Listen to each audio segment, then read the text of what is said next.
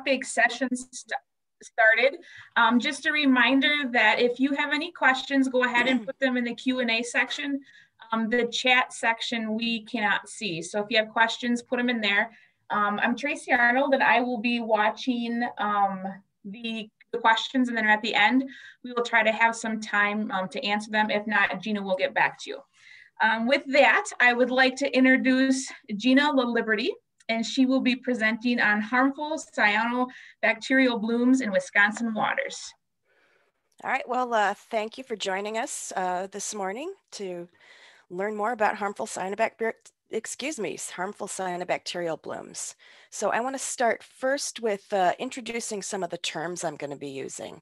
So when I talk about cyanobacteria, that's the same thing as blue-green algae. Cyanobacteria is just a, a more scientific term for it.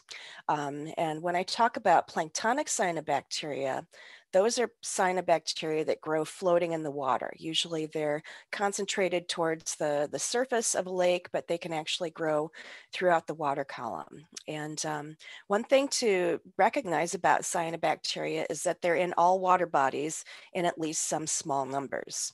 And one of the best things that you can do to protect yourself and your family from some of the harmful effects of cyanobacteria is to learn to recognize them. So I'm going to try to help you, give you some, some pointers on how to do that. So if you're looking at lake water like this, this is a close up. How can you tell if you're seeing planktonic cyanobacteria? And what you do is you look for these little tiny green specks in the water or sort of a, a green dust on the surface of the water. And that's going to be cyanobacteria, otherwise known as, as blue-green algae. Um, they tend to be sort of this, this mint green color when they're actively growing. There are other things that you can do to uh, get a little bit better idea if you're seeing cyanobacteria. That's doing something called the JAR test. And the Minnesota Pollution Control Agency has a little has a nice document on this. You can just search for the terms Minnesota JAR test uh, to find that. So if you, let's say you've got some green lake water, some small particles in it, put it in a jar, cap it, shake it up, and just let it sit for a while, like maybe about an hour. And planktonic cyanobacteria tend to float and form a scum on the surface like you see here. Um, this lake doesn't have a lot, so there's a really thin layer, but if you've got really green water, you might have a really thick layer with a lot of them in there true algae tend to sink to the bottom of that jar. And um, I want to want to let you know that if you need some of these links that I'm providing in, uh, in this presentation, feel free to email me or contact me through the, the conference platform. So that's the jar test. Um, but you do have to look closely at those, those green floating layers because there are some tiny plants that you might mistake for cyanobacteria. So again, here's that jar that I showed in the previous slide. Here's another jar with some green stuff floating. So what is that? And there are actually tiny little plants that you can kind of mistake sometimes too. So uh, you hit in this, this is the jar from the side. This is the jar from the top. And in this jar, there are some duckweeds. You can tell duckweeds because they've got this little root that hangs down. There are also a lot of a very tiny plant called Wolffia, which is otherwise known as watermeal. And Wolffia plants are about the size of half the size of a sesame seed, so really tiny. They tend to have this very um, regular oval outline and they're sort of grainy if you rub them between your fingers. So you do have to look closely and sometimes you're, you're gonna get a mix. You could possibly have some cyanobacteria mixed in here too, but that tends to be a lot smaller and finer than duckweed and wolffia. Sometimes you'll have floating green mats on a lake. And how can you tell if those are cyanobacteria or not? You can use what's called the stick test, which is also in that Minnesota Pollution Control Agency document.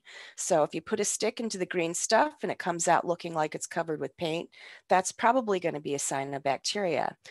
However, if you put the, the stick in and it looks like you've got some long green hair-like material hanging off, like you see here, hanging off some tweezers or this really long green hair-like stuff hanging off this rake, that's gonna be filamentous green algae, which really are not hazardous.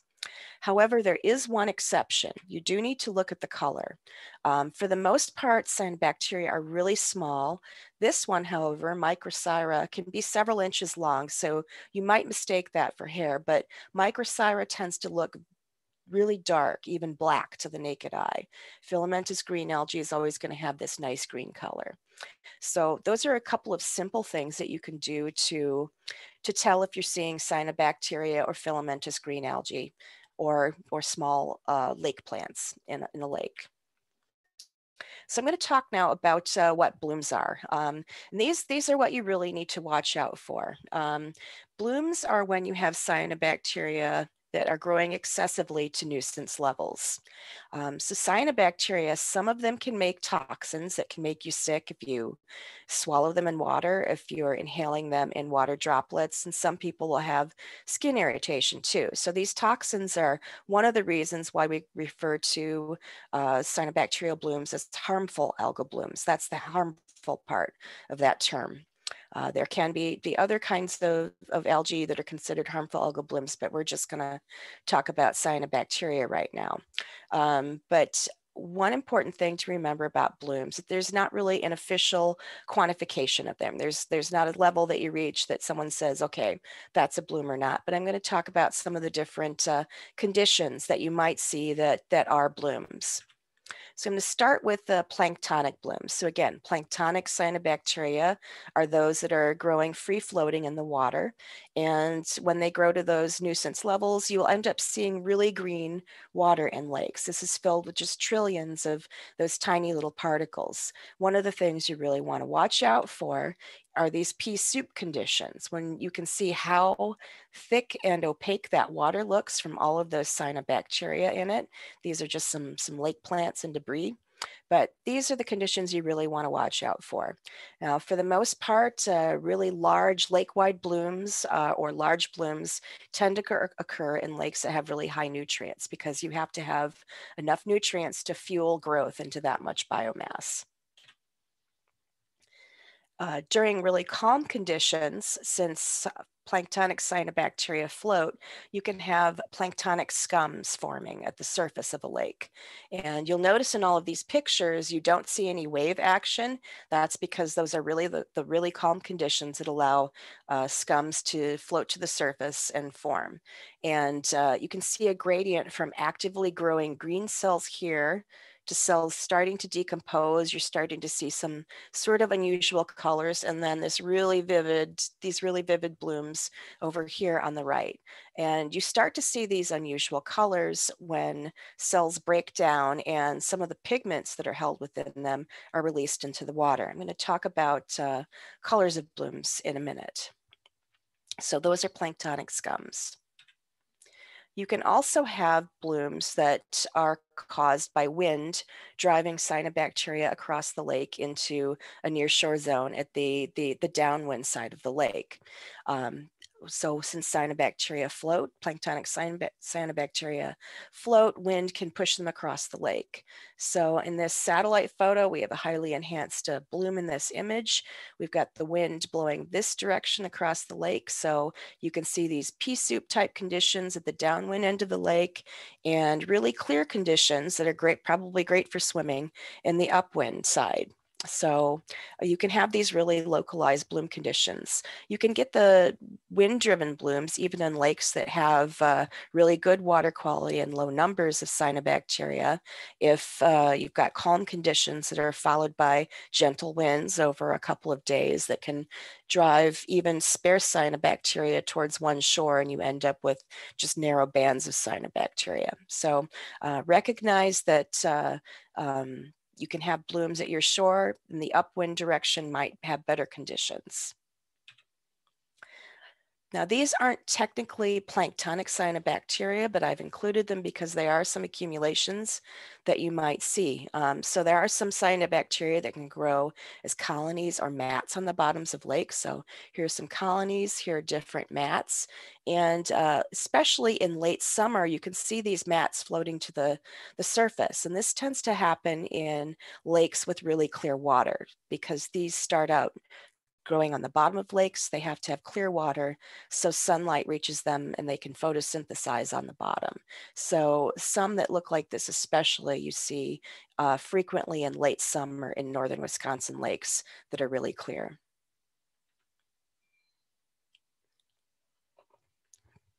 So I talked earlier about uh, blooms that can be many different colors. Uh, there are a number of pigments that cyanobacteria can contain that you can see when those blooms start to decompose.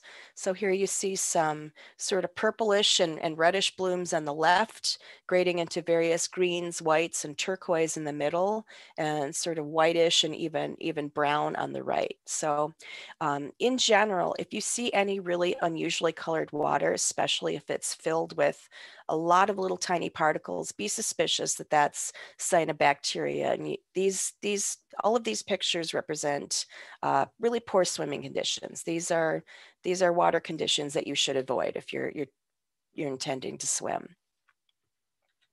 So I, have talked now about how to sort of identify a lot of these blooms and um, now we're going to talk a little bit about what causes harmful algal blooms. So in general, in order to have that really high growth to bloom levels, cyanobacteria require a lot of excess nutrients in a lake to, to fertilize them and to support their, their growth to that level of biomass. So we primarily see the worst bloom problems in lakes with really high or really high nutrient levels. So lots of phosphorus and nitrogen. And when we tend to see blooms are when water is at its warmest in the summer. That's because cyanobacteria grow better at warmer water temperatures than other more desirable kinds of algae. Uh, we tend to see a lot of these scums forming when there's calm weather because calm conditions allows uh, the cyanobacteria cells to float to the surface. And in Wisconsin, we tend to see a lot of problems in shallow reservoirs and impoundments. Uh, they tend to be more vulnerable to blooms for a couple of reasons. Uh, first of all, they tend to be more shallow, so they warm up faster to those warmer water temperatures that cyanobacteria like. And also, if you put a dam on a river, slow down that flow, you can have a lot of sediments and associated nutrients dropping out. So you're, you're actually, actually by impounding a, a river, you're um, creating a little pool of nutrients and calmer, calmer water that uh, can help foster the growth of blooms. However, in specific water bodies, uh, the exact causes of what causes a bloom can be really complex. Uh, there are a lot of things that come into play, such as the lake type and depth. Uh, if there are legacy nutrients from uh, nutrient inputs even years ago, uh, what other species are in the bloom, and other biological interactions, such as with zebra mussels. So, in general, a lot of nutrients will foster blooms, but the actual mechanics of, of, of bloom growth tend to be pretty complex. I also want to emphasize that blooms can grow in any water body. That's because there's always going to be at least some cyanobacteria in all water bodies. So that's why the high nutrient bodies tend to see more blooms, but even if a water body has really low nutrient levels, things like wind can help to drive blooms on occasion.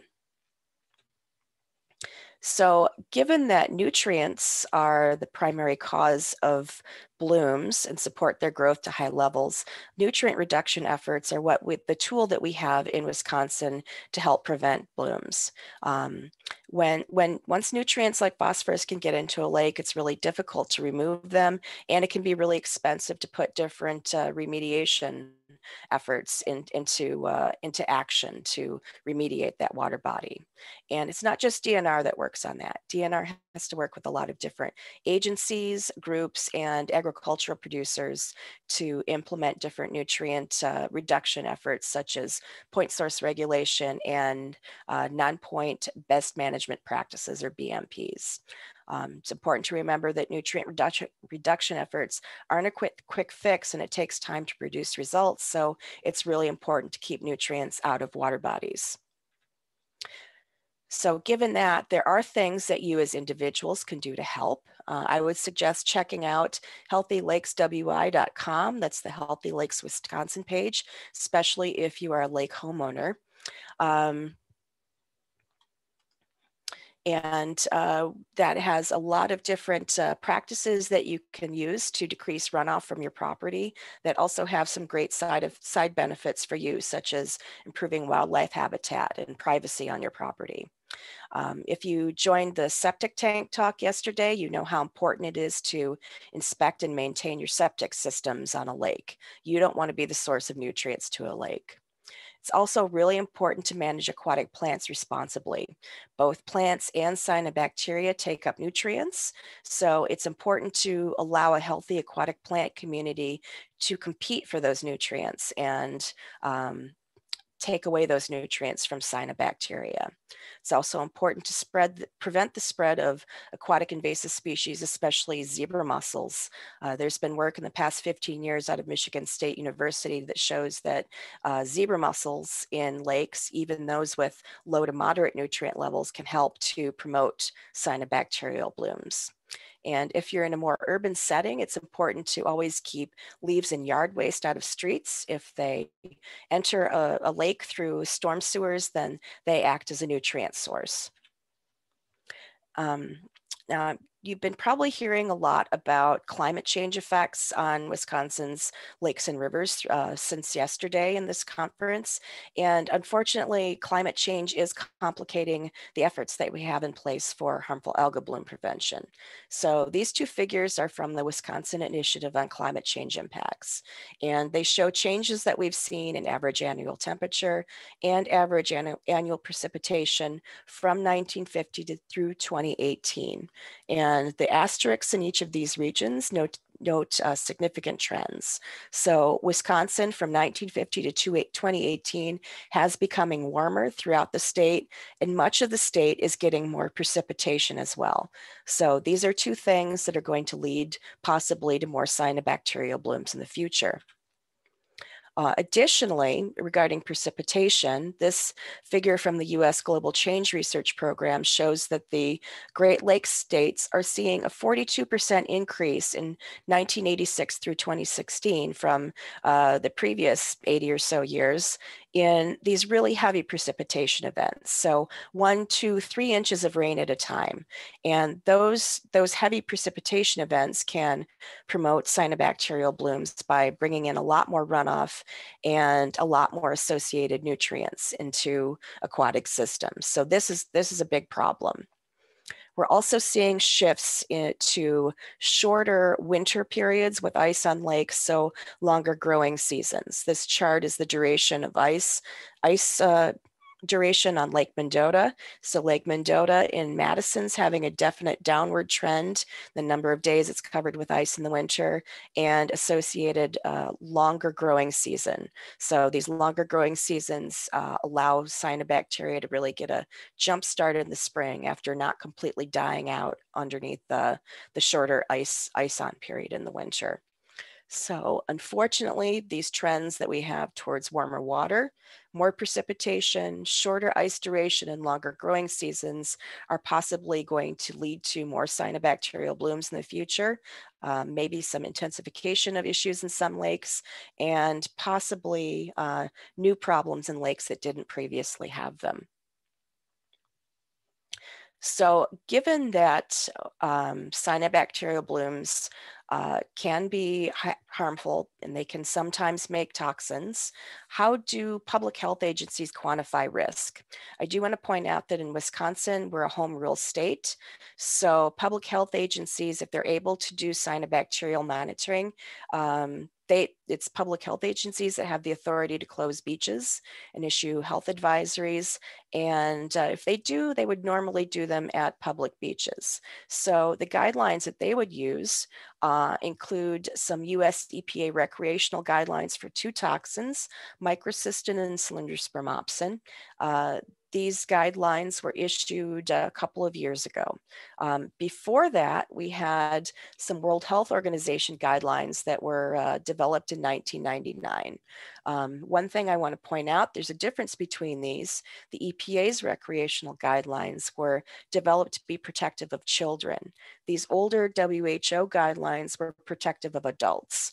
Uh, the WHO did develop did figure out that these high to very high risk situations were roughly equivalent to uh, cell densities that would mean that an adult wading into knee deep water would not be able to see her feet. So this is high to very high risk for, for adults. Um, so that's that's sort of a, a, little benchmark that you can use. However, I do want to point out that uh, last week the WHO released uh, an update uh, to this 1999 uh, work.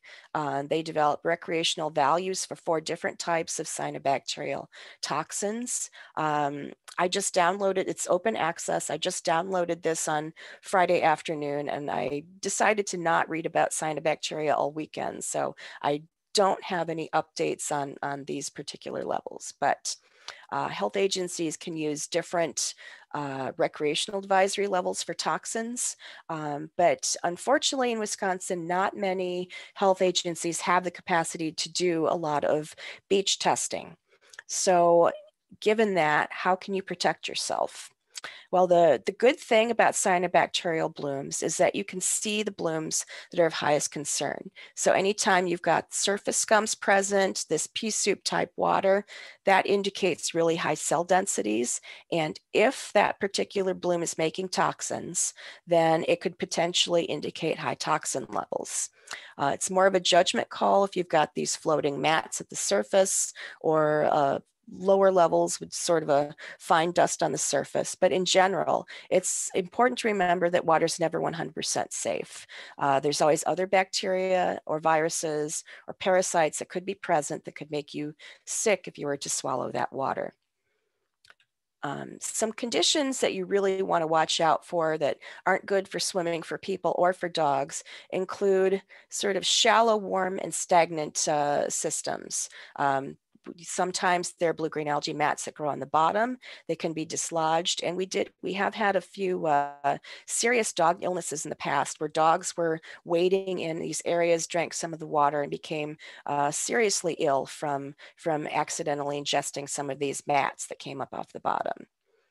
Other things you want to look out for are just a lot of organic stuff in the water. So here you have some decomposing filamentous green algae um, on the, the surface of this lake, a lot of plant material. Anytime you've got a lot of sort of organic material in the water, you can high, have high bacteria levels, or you could possibly have pockets of cyanobacteria trapped in there. So that's, that's not great for swimming either.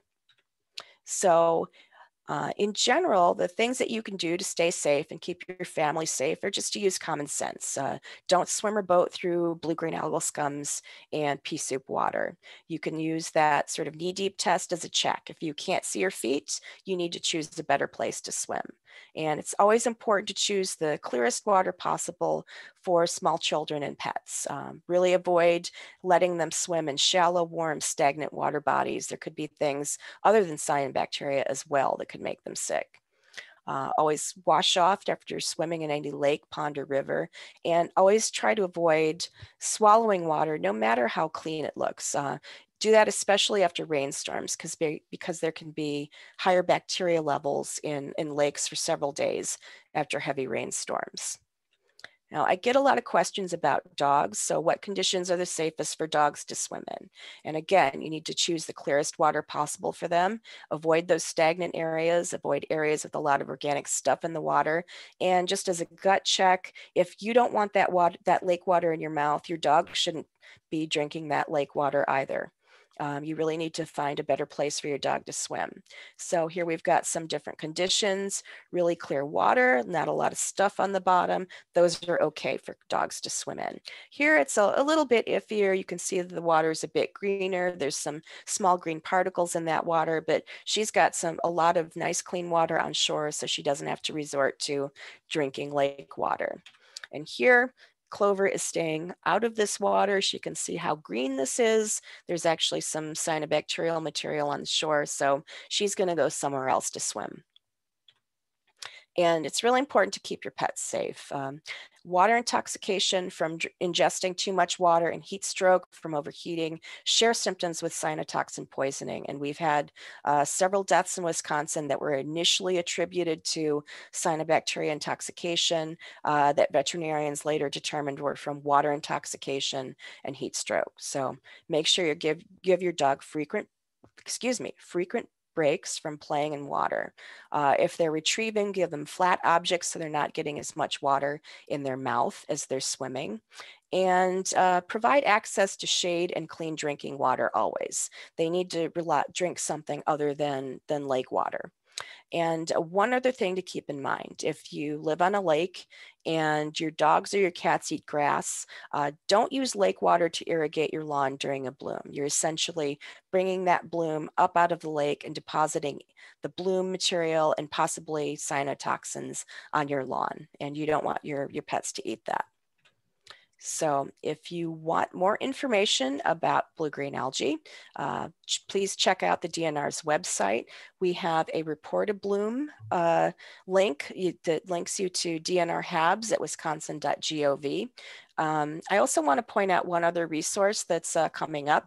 Um, I've been working with the Interstate Technology and Regulatory Council's harmful cyanobacterial bloom team for the last couple of years. Uh, this is a state-led group that includes uh, a number of um, health agency and natural resource agency uh, professionals from, from states across the nation.